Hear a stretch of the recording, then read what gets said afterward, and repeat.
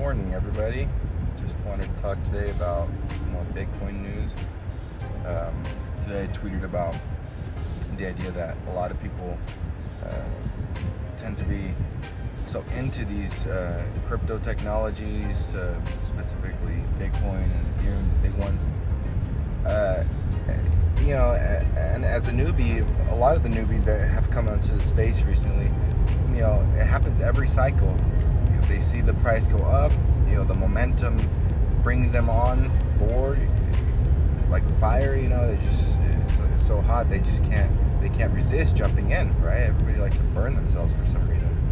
Um, but when it's low and, and things aren't exciting and the fire's not raging, uh, nobody wants it. Nobody's excited about it.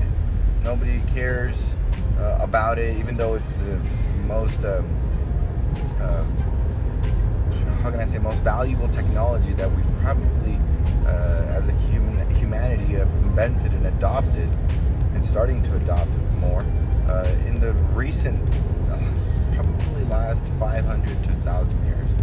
Uh, that's how important this technology is specifically Bitcoin because of its decentralized aspect limited uh, quantity. Um, I don't understand. You know, the price is low. It's ranging between 30 and 35. Uh, 30 and 35 was way more than. Yeah, 30 and 35 is way more than it was last year, and people are still, you know, ah, not interested in it. Okay, I understand. There's a high likelihood that it can still uh, be cut in half from here and go to 15. But the risk reward ratio, uh, it's there if you're a trader it's there if you're an investor for the long term. Of course, if you're a short term trader, uh, not investor, just a newbie that's excited about the, the space when it gets hot, this this information is irrelevant to you. You know, this this is information is for people that are serious about what they're doing. They're serious about their trading careers.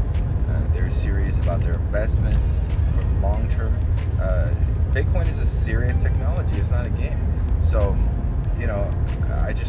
that if you, if you're not buying when it's not hot, then don't complain when it when it's hot and, and it's too late. At least that's how you feel. Please, guys, it's getting old. It's cycled so many times. Every time it's hot, all your relatives and family come out. They want information. What do I do? What do I buy? You tell them, hey, stay away from this new stuff. You know, stick with Bitcoin and Ethereum if you must. Uh, but forget about this other stuff that's new and, and, complicated. A lot of newbies don't even understand what they're doing. Um, you guys, stop it, okay? Too many times already. You need to understand. You need to understand, guys, that you buy when things aren't moving. You know, uh, when the value is not being recognized by others. Uh, that's that's when you buy and you hold you, and you wait for the market to get hot and you sell when it's hot. You don't buy when it's hot. You sell when it's hot. You know, you buy when it's cold.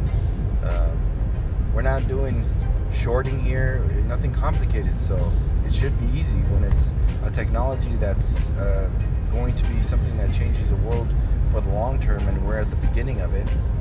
This stuff, guys, you just buy it and you hold it for a long time 5, 10, 15 years You can't be trading this back and forth if you're not a trader, specifically for purposes of taxing, record keeping. Come on, guys.